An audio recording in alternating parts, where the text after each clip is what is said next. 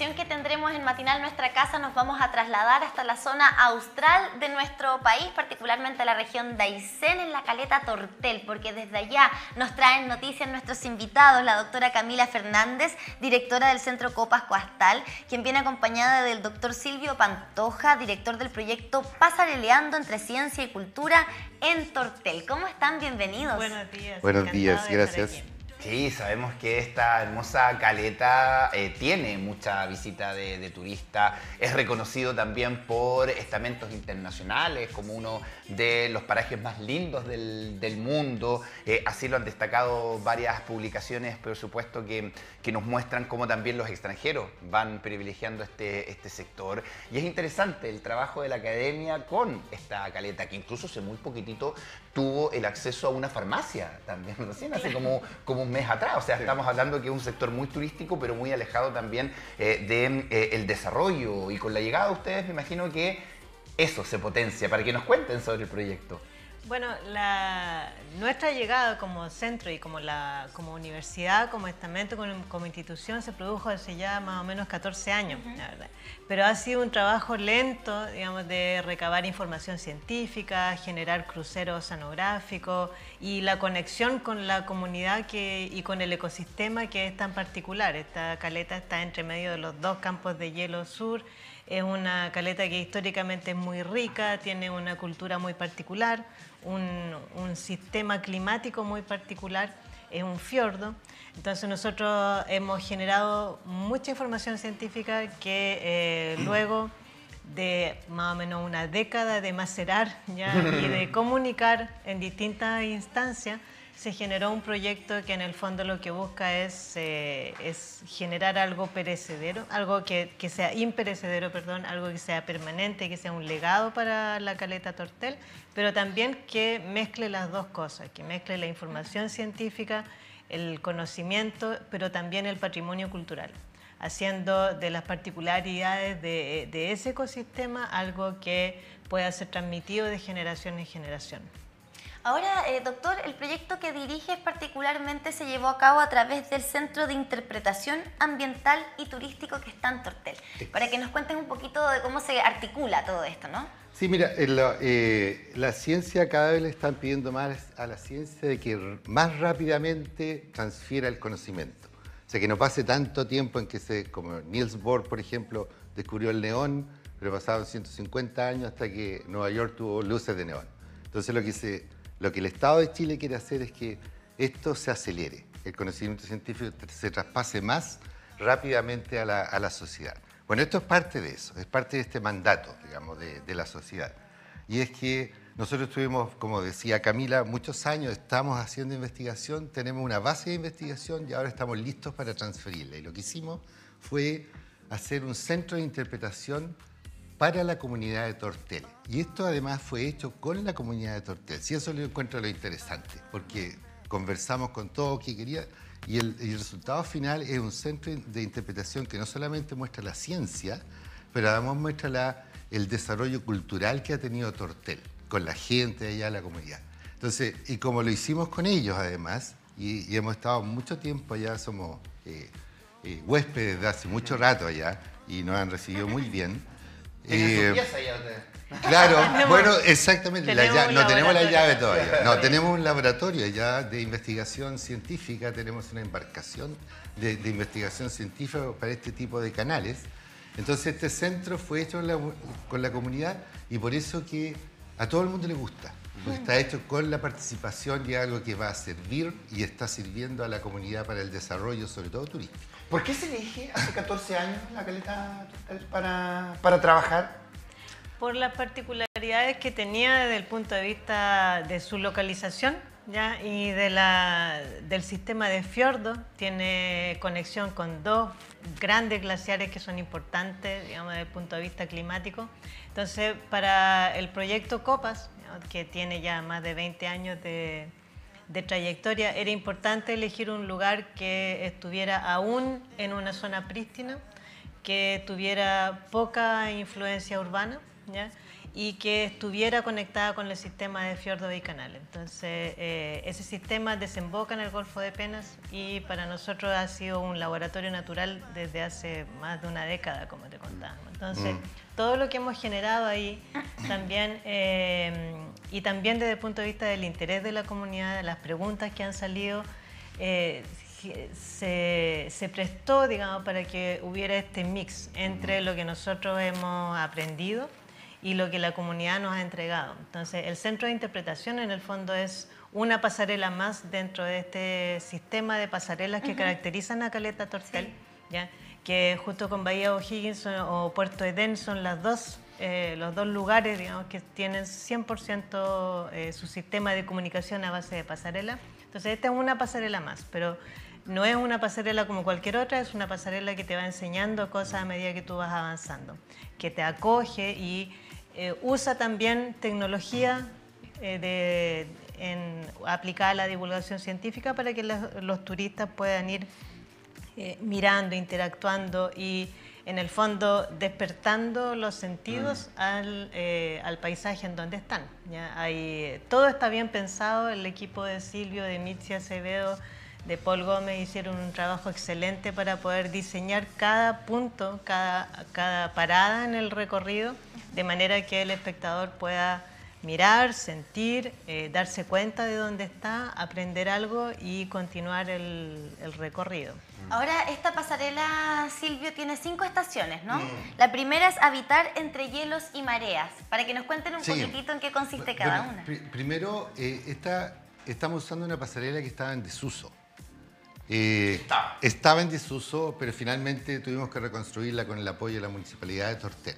O sea, no hubo una intervención tampoco... No, nada, nada. No, y además el Consejo Monumento Nacional está con los ojos puestos porque esta es zona típica y tiene ciertas características. Uno no puede llegar y construir el mall sin, pedir permiso, por lo menos. Ya. Entonces, eh, en, la, eh, en la, primera estación, esto lo, impresionante para la gente que va a ver, nosotros lo, tenemos súper claro de antes, pero estamos realmente ahí eh, entre los campos de hielo norte y campos de hielo sur, que son los, eh, las reservas de agua más importantes que existen en, el mundo, además de la Antártica el Ártico. Pero dentro del, del, continente estos son los más importantes que hay, que todavía quedan relistos. Entonces se acuerdan que los fiordos eran, no sé si se acuerdan, pero hace 20.000 años atrás todo estaba cubierto de hielo. Entonces, para los espectadores, para los turistas, las, las turistas, darse cuenta de eso es una revelación. Porque donde están, y, eh, justo, pero si ustedes miran el mapa, justo está en medio Caleta Tortel.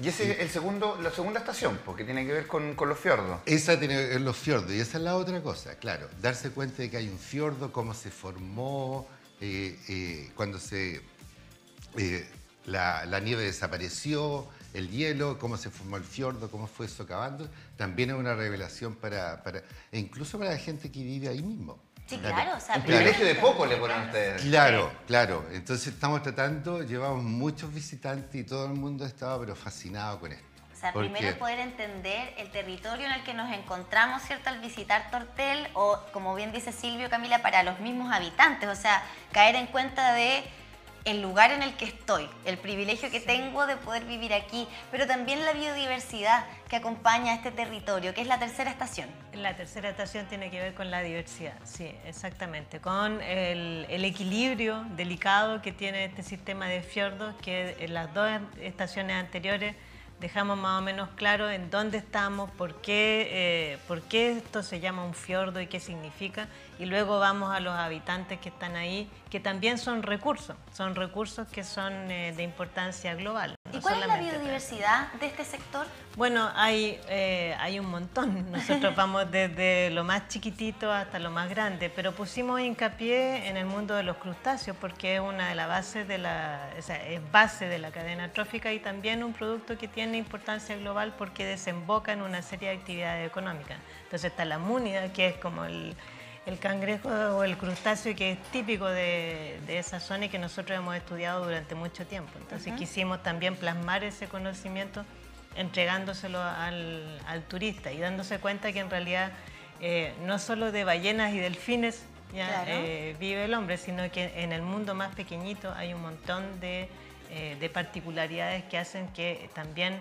a uno le den ganas no solamente de disfrutar el paisaje, pero de proteger a los pequeños habitantes que hay. Claro, y ahora eh, sin duda que los turistas se sorprenden por la majestuosidad, por el clima, por eh, la, cultura, por lo que significan obviamente eh, todas estas bondades que tiene el sur de nuestro país, pero sin duda se preguntan cómo llegaron a vivir aquí, al, extremo sur del mundo finalmente. Y eso es parte también de otra de las estaciones. Tenemos una, una de las estaciones, es una línea de tiempo de cómo se formó y eso ha sido muy interesante, no solamente para, nosotros fue tremendamente interesante y nos movimos un poco de nuestra zona de confort de hacer experimentos, cosas, lo que sabemos hacer.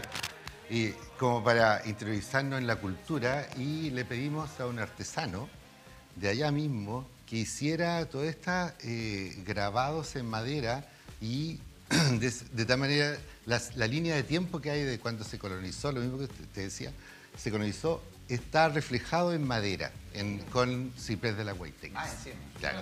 Entonces, con ese rico olor que tiene el ciprés de la Huayteca, etc. Y ahí vamos a poder responder esa pregunta. ¿Cómo llegaron a vivir aquí, Exacto. Y es una. A pesar de lo, de lo, que uno podría pensar, esta no es una región pesquera, es una región maderera, desde el inicio. Entonces esa es también una particularidad que, eh, explica el por qué la gente se fue a sentar ahí, por qué digamos, eh, fueron desde Chiloé y de otras regiones llegando paulatinamente y se estableció una industria maderera que hoy día está un poco eh, en retroceso, pero dando fuerte hacia, el, hacia la industria. Como comentario propio, qué bueno. Y la, la, verdad es que la gente ha estado eh, digamos, cambiando su actividad económica desde la madera o la extracción de recursos naturales digamos, en cierta medida, pero fuertemente hacia el turismo, pero turismo sustentable. Tortel es una de las comunidades que eh, para nosotros ha sido muy marcada la tendencia que tienen hacia la, su propia sustentabilidad, manejo de residuos, eh, han tenido una evolución muy significativa en cómo manejan ellos mismos sus residuos, cómo mantienen su bahía y eh, nosotros también hemos tenido la suerte de contribuir a la sanitización de la, de la bahía de Tortel. Eh, entonces una, una comunidad muy consciente del impacto que tiene el hombre sobre este tipo de sistemas que son delicados ¿ya? y que son eh, dignos de preservar y ellos mismos se preocupan de, eh, de, hacer un punto muy fuerte cuando uno llega en que aquí en Tortel o allá en Tortel eh, tratamos de no contaminar. Mm. Bueno, esto generalmente ocurre con aquellas comunidades que están aisladas, a las que no llegan los servicios del Estado, como ocurre en las grandes ciudades, porque tienen que aprender, eh, eso, supervivencia finalmente, ¿no? Exacto. Eh, y, y, esa, comprender también que si cuido mi entorno, mi entorno de vuelta me va a entregar, ¿no? Eh, y es lo que me imagino también hace la ciencia, particularmente desde Copas, eh, es comprender aquello a cabalidad, pero con sustento científico, y es la quinta estación, la última, que además es el nombre de una banda. Una canción. Sí, una, eh, es la quinta estación donde aprendemos acerca del trabajo que hace Copas, ¿no? Sí. Exacto. mira, la quinta estación es la que nosotros nos preocupamos, así como 100%, tuvimos mucho atraso y cosas, lo típico del proyecto, de las cuatro primeras. Y la quinta la dejamos para el final porque era la nuestra, en nuestro laboratorio. Entonces, pero finalmente está como, todavía estamos terminando la quinta parte. y ahí mostramos. Lo nosotros, no claro, claro. Pero resumir todo ese trabajo. No, en eso estamos, justamente. Estamos, mira, estamos en dos cosas. Primero, eh, estamos en un periodo de marcha blanca, ahora de tres meses, que es parte del proyecto. Pero lo más importante de este, bueno, una de las cosas importantes de esto es que eh, esto es parte del patrimonio del Tortel, no era la Universidad de Concepción. O sea, la Universidad de Concepción y el Centro Copa y el proyecto, y hay un fondo de ciencia pública del Ministerio de Ciencia, que es para esto, para generar espacios públicos, justamente lo que estamos haciendo. Pero la idea es que esto sea eh, manejado por la comunidad, que nosotros tengamos participación en todo lo que se necesite, asesoría sobre todo, pero manejado la, la comunidad. Entonces, en eso estamos en el plan de gobernanza, con reuniones, con la municipalidad, cargado de turismo, la Cámara de Comercio, de Tortel, etc. Entonces, eso yo encuentro que es como la última parte, pero es una de las más importantes, porque la idea es que después que termine el proyecto, que no se, Claro, que se pudra la madera y después no, pues, no podemos hacer eso. Ahora, eh, ya que ustedes tienen una pieza allá en Tortel y, y estamos hablando de turismo, eh, datitos para ir, ¿en qué época es bueno para ir en cuanto a para tener esta imagen majestuosa? Porque uno se imagina ahora, que ya que... ahora, ya vayan Verano. ya. Ahora Vayan ya. ya. Enero o Ya. febrero, ¿cuál es mejor?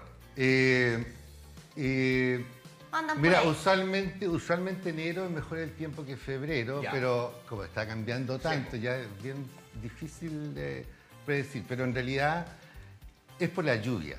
Entonces, en cualquier momento es bueno, excepto la lluvia, porque hay mucha lluvia. Estamos sea, en la guste, Patagonia. claro, llegar pero- allá eh, cuesta. Pero para disfrutar esos paisajes No, claritos... ahora, po, ahora, ahora es el momento. Ahora, claro. ahora, al tiro. De hecho, la población de Tor- Tortel cambia de 500 personas a muchos miles por lo justamente el ¿Y cómo es la llegada? ¿Cómo hay que ir?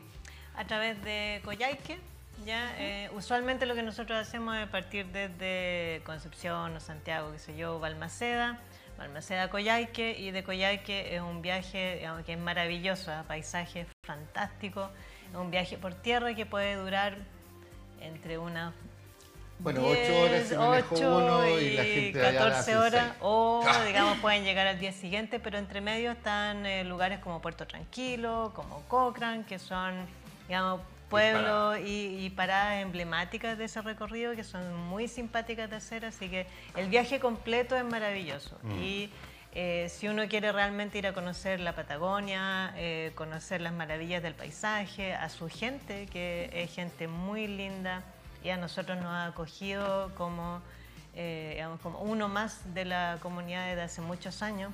Y es por eso en realidad que este proyecto de ciencia pública ha sido tan complicado de hacer por lo aislado del territorio, pero también tan enriquecedor porque es la, digamos, la, la parte más concreta que nosotros hemos podido encontrar para retribuir a Tortel todo lo que nos ha dado como comunidad científica. Y además Haciendo parte, somos ¿no? parte del recorrido, así que nuestro laboratorio Sí. es una estación más dentro del, del recorrido, así que Esa es la estación 5. Y qué bonito Sí. además poder conocer, uno como turista o las personas que nos ven ahora, ¿cierto? Conocer el trabajo que hacen los científicos allá. Y a propósito de lo que tú mencionabas al principio, la Organización Mundial del Turismo el año pasado declaró a la Caleta Tortel como una de los, uno de los mejores pueblos turísticos Sí. de Chile. Ah, así que tiene esa categoría, pero estelar, que vale la pena visitar. Gracias a ambos por haber venido a contarnos en Gracias. lo que están Gracias a ustedes y los esperamos en Tortel. sí, no se pierdan ese Sí, destino, tienen sí. que ir a conocer Caleta Tortel. Destino